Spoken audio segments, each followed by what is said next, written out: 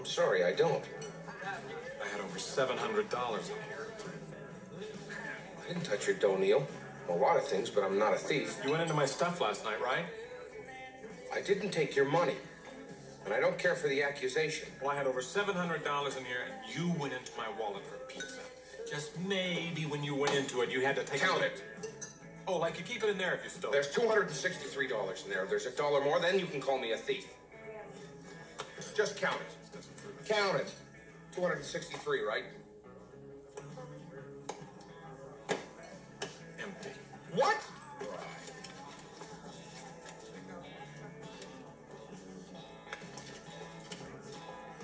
We were robbed.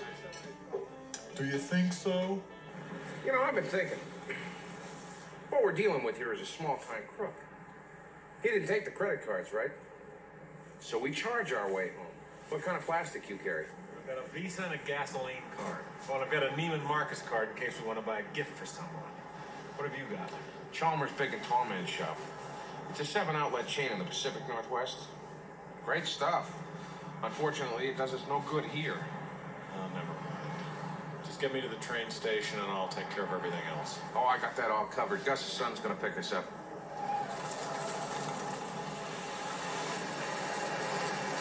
This is not him, is it? I hope not.